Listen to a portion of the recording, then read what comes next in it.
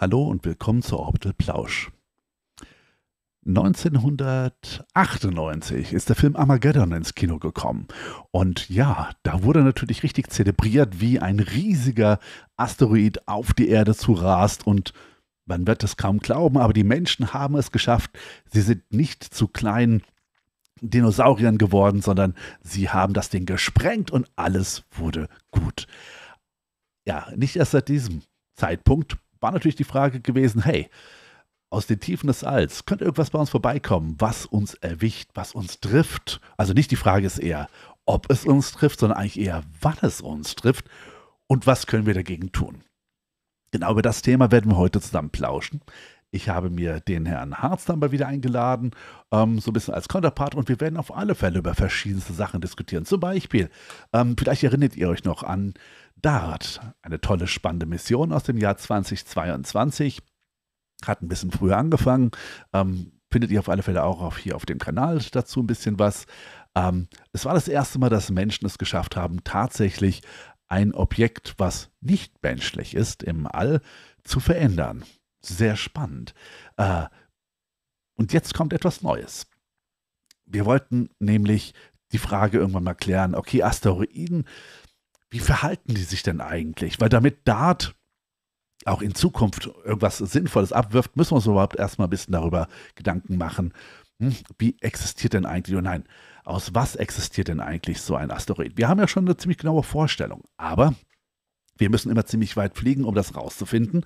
Also hat sich die ESA überlegt, lasst uns doch ein Projekt machen. Das heißt Ramses. Man mögt schon, die Mythologie wurde hier wie immer ein bisschen hm, bedient.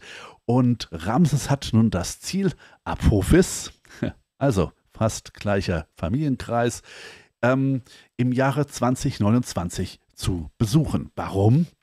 Apophis ist ein Asteroid, sehr nett.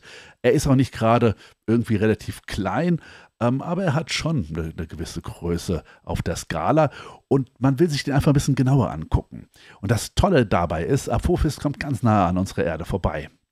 So nah, dass du du und ich uns das Ding anschauen können.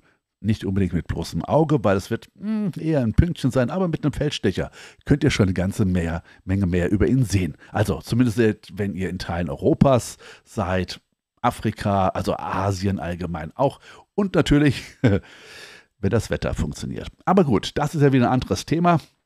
Gestern war der 16.07.2024. Die ESA hat also bekannt gegeben, dass sie mit Ramses eine schnelle und kostengünstige Variante wählen möchte, um eben Apophis zu besuchen und zu besuchen ebenso, dass es ihn genauer beobachten können, wenn er an der Erde ganz nah vorbeizieht. Und genau darüber werden wir heute noch ein bisschen tiefer miteinander plauschen mit dem Herrn Harzner. Und ich würde euch doch bitten, wenn es euch bis hierhin gefallen hat, hinterlasst doch schon mal ein Like am liebsten natürlich auch ein Subscribe für den Channel, weil das bringt einfach das Thema weiter nach vorne. Und ihr wisst ja, der YouTube-Channel muss noch ein bisschen trainiert werden. Der ist noch ein bisschen blöd und zeigt mehr Katzen- und Hundebilder als alles andere. Aber gut, wir sind ja auch was Nettes. Nur, wir finden, Raumfahrt sollte einen guten Stellenwert haben. Von daher, entweder bleibt ihr jetzt noch, beziehungsweise schaut euch den langen Teil an. Falls ihr live dabei seid, könnt ihr gleich Fragen stellen. Und ich würde sagen, ich freue mich auf alle Fälle schon auf euch. Und ähm, ja, habt immer eine Handbreit Luft unterm Hintern. Wir plauschen spätestens in 14 Tagen wieder oder jetzt gleich in der langen Version. Bis dann.